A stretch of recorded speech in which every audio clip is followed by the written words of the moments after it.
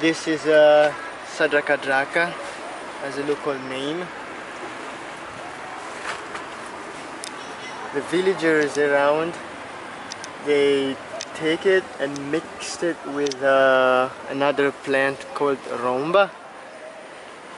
The women they use it after giving birth, like a week after giving birth, and they boil it and they take a bath with it to get strength after giving birth. This plant. And that is the advantage one of the advantages of Macolline people around can come and take plants used as medicinal.